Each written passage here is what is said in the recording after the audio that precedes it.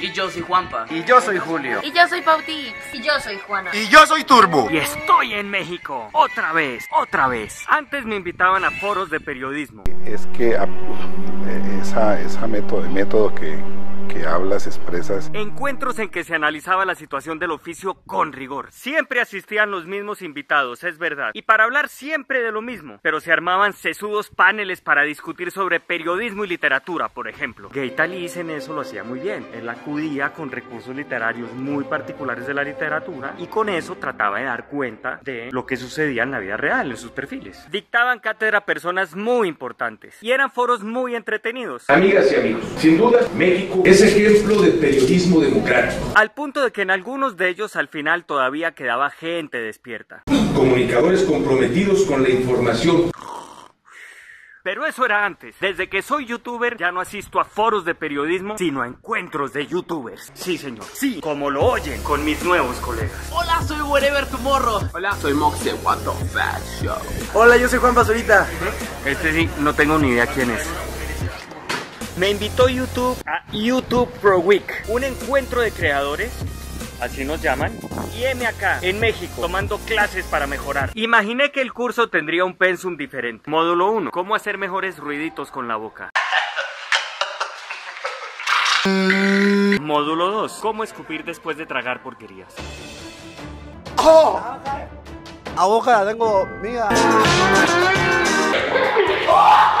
Módulo 3, instrucciones para ingerir helio. Papá, ¿vos te casaste por la iglesia o por lo civil? ¡Por estúpido! Súper chulos los peinados y ya está. Ey, no, lo de Yuya no es helio, quítelo de ahí. Pero ha sido más que eso. No niego que al comienzo fue incómodo. Tenía miedo de que algunos malinterpretaran la forma en que los tomo como musas y creyeran que en realidad los estaba molestando.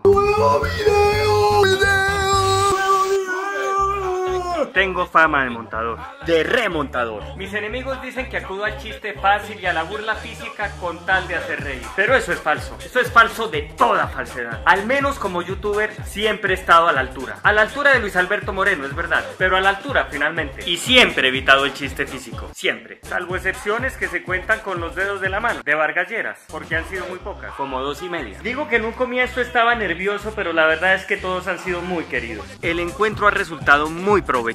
No solo he ido a clases, también a fogatas. Ordóñez habría disfrutado mucho en un lugar así. Además he podido conocer a algunos de los creadores porque así nos llamamos, más importantes de YouTube. Como youtuber he descubierto que no tengo un solo pelo de tonto. En eso me parezco al profe Julio. Un millón doscientos mil seguidores, 200 millones de reproducciones. Todo un maestro. Profe, ¿quién sabe dividir más? ¿Usted o Uribe? Bueno, yo divido números, pero otras personas saben dividir el país. ¿Ya gana plata? Sí, pero no tanto como el gobierno con la reforma tributaria, sin duda. Quiero ser mejor youtuber. ¿Qué consejo me daría? Daniel, sea persistente, luche por su canal, sáquelo adelante y verá que los resultados se ven. Como Pau Tips, experta en tutoriales de maquillaje. Siempre la había querido conocer para hacerle preguntas sobre Santos. Por ejemplo, si usa fijador, porque el pelo es lo único fijo que tiene. De resto vive cambiando de opinión, porque como él, mis- como él mismo dijo, solo los imbéciles no cambian de opinión. Pau, ¿tú crees que Santos vaya a maquillar el acuerdo y ya? Que vaya a hacerle un retoque cosmético al acuerdo nada más y ya. Yo no sé, pregúntaselo a su, a su estilista, ¿no? Mira los párpados de Santos. ¿Tú crees que se echa delineado? Pues delineó el proceso de paz. Yo creo que sí. Bueno, y mírale el mechón. Es decir, ¿tú crees que Santos usa laca? Para mí él se hace el blower. Atrás. ¿Eso es puro blower? Sí, claro, con el cepillo así redondo. Y echa todo para atrás. Para atrás. ¿Qué le aconsejarías a Rodrigo Jaramillo y a Tomás Jaramillo, los de Interbolsa, que son expertos al parecer en maquillar balances? A mí es mejor andar con la cara lavada. Lavada de activos de golpe. Han sido días de trabajo y esparcimiento. Días felices que me han permitido conocer, por ejemplo, a Juan Pablo Jaramillo, una verdadera leyenda, un verdadero clásico. Yo siempre lo he admirado por las luchas que ha dado por la igualdad. Juan Pablo, ¿tú alguna vez te has sentido atacado por mí? Perdón, ¿tú quién eres? Como el youtuber mayor de 40. ah, Popeye. No, hombre, el otro, el otro youtuber mayor de 40. Ah, ok. ¿Tú eres Cecilia Álvarez? Juan Pablo, dame un consejo para triunfar como youtuber y ser como tú. Mm, pues yo creo que deberías añadirle cosas a tu look. Por ejemplo, mira, yo me hice este tatuaje. Mm, Que ves acá, deberías Me- tatuarte. me suena familiar. Sí, pues clases que me le dicen en honor a tu familia. La rutina de cada jornada es muy amena, muy amena. E incluso grabamos videos en colaboraciones. No será un encuentro sobre la importancia de los medios periodísticos en la sociedad. No está Juanita León dictando cátedra sobre el deber ser. Y yo creo que este problema de la estupidez O Javier Darío Restrepo sobre el futuro del oficio. o el vuelo de Superman que a todos nos ilusiona. El deber fue. Ni ha habido la primera mesa redonda sobre Gabo en la que alguien, cualquiera, cuente anécdotas de su vida con el Nobel y dicte cátedra sobre su obra. En la obra de Gabo se trasluce una estrategia circular narrativa muy interesante. Pero no me quejo, nos han atendido como reyes. Como Gabriel Reyes, es decir, como presidentes de canales, que es lo que somos. Y he podido encontrarme con mis nuevos faros laborales. Como el gran Mario Ruiz. Hola, ¿cómo están todos? Yo soy Mario Ruiz. Mario, ¿qué opinas de la reforma tributaria de Santos que en teoría no graba la canasta familiar? Am, que tiene huevo. ¿Santos? No, no, no, la canasta familiar. O sea, tiene huevo, tiene aceite, tiene leche, Mm. tiene... ¿Crees que la reforma afecte a los youtubers? Mm, bueno, probablemente a los que hagan retos de huevos no, pero a los demás yo creo que sí. Dame un consejo. Estoy aquí para aprender a ser mejor youtuber. Que ya tienes 40 y está difícil, pero le puedo sugerir que haga retos. ¿Qué tal los retos? El youtuber que no haga el reto del huevo no es youtuber. El reto del huevo consiste en que tú tienes que jugar piedra, papel o tijera y el que pierda se tiene que dejar estrellar un huevo en la cara. Bueno, pero ¿tienes los huevos? Sí, los huevos, sí, sí, sí. A ver, saca. Aquí están. Ah. Sí, uno siempre, un youtuber siempre anda con, con huevos. Los youtubers suribistas andan con tres huevos incluso. ¿Sí? Mm, tres huevitos, no muy grandes. Ok, piedra, papel o tijera. No jodas. ¿Listo? ¡Ay! ¡Ay! ¡Ay, jueputa! ¡Ay, vida! Lindo Sí, mundo, lindo mundo lo- el de lo- los youtubers. ¿Lo dejamos ahí?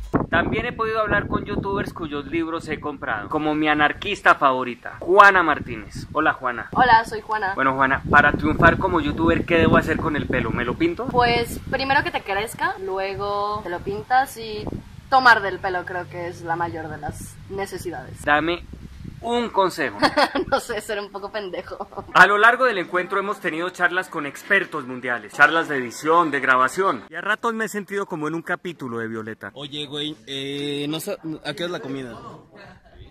¿A qué horas? Ya demasiada juventud. Y hemos tenido tiempo para hacer deportes. O para que otros hagan. Porque yo me la paso tragando tacos y bajándolos con agua de Jamaica. Mm, con agua de Jamaica. La próxima vez que baje los tacos serán los de la luz. Llegaré rebotando de lo gordo, pero no importa. Porque ya soy suscriptor de Turbo Fausto. ¿Cuántos suscriptores ya? Un millón seiscientos. Bueno, Turbo, necesito hacer deporte. Desde que tengo 40 años me está saliendo papá. ¿Qué consejo me da? ¿Qué hago? Yo te recomiendo que te suscribas a mi canal y que hagas este ejercicio.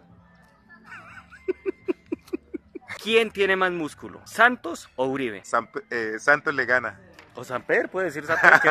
¿Qué importa? Ya Samper, Samper tiene no- más músculo. Ya no importa nada, en la espalda sobre todo. ¡Yes! También tuve chance de hablar con Sebastián Arango, un colega youtuber, pero también un colega escritor, porque también tiene libro. Hola, soy Seba. ¿Tú eres algo de Andrés Pastrana Arango? No, no, yo soy de los Arango que sí trabaja. Necesito que me des un consejo para ser buen youtuber. Que hagas un tag. Un tag, un tag de... Es verdad, los, después de los 40 es importante que uno se haga un tag, un tag en el cerebro. No. Un, tag, un estudio del cerebro. No, un tag de YouTube que son como, eh, como temas, hablas de algo. Otro aspecto interesante de estar acá es conocer youtubers de todas partes de Latinoamérica, porque este es un encuentro latinoamericano. Es el sueño bolivariano del comandante Chávez, desde la patria grande, bolivariana y youtuber. Sino que aquí se hay libertad de expresión, la medio huevonadita, y comida. Y más importante aún, papel higiénico. Y hasta unos hoteles con una bobadita de cuartos que incluyen hasta piscina propia. La ardua vida de un youtuber. ¡Seré millonario! que vengan youtubers de toda Latinoamérica me ha permitido conocer a la gente de Enchufe TV, el canal ecuatoriano. A los que hacen contenidos muy críticos en Ecuador les dan cinturón. Solo correa. A Whatever Tomorrow de México. Oye, para ser buen youtuber hay que ser buen actor como Peña Nieto. No, para ser buen youtuber debes de saber copiar como Peña Nieto. Tú tienes más de 12 millones de seguidores. ¿No te piensas lanzar a la presidencia de México? No, no, no, o sea, soy, soy tonto, pero tampoco soy tan tonto. A Mox del Perú. ¿Cómo hago para triunfar como youtuber o al menos como escritor ya con lo que sea? Uy, copian el libro a Barrajigosa o algo así, ¿no? ¿Me levanto a la Preisler? También, claro, eso, sirve? seguro. Y a este personaje, ¿me recuerdas tu nombre, por favor? Whatever Tomorrow. Oye, eh, alguna vez traté de hacer ese grito famoso tuyo de Ah, nuevo video, pero me salió muy mal. pedo, cachorros? ¿Cómo están? Tienes que recoger tu cara, tu cuerpo, tienes que tensarlo todo. ¡Bienvenidos a un nuevo video! ¡Nuevo video! Pero sobre todo estar acá metido me ha permitido saber quiénes son los que ya pusieron en jaque y patas arriba a la industria tradicional de medios. Chinos, chinos sencillos, queridos, normales, apasionados, chinos que no se sienten reyes, ni siquiera como Gabriel. Chinos con los que haré grandes alianzas hasta que me vuelva millonario. Sí, señores, millonario, millonario. ¡Ah! ¡Millonario! Siempre y cuando compren Mi puto libro. Mi puto libro. mi puto libro. Suscríbete en el recuadro rojo. Suscríbete en el recuadro rojo. ¿Qué esperas? Suscríbete en el recuadro rojo. En el recuadro rojo, pero de abajo. Suscríbete. Con la ayuda de tus hinchas, seguro vas a alcanzar otra estrella que.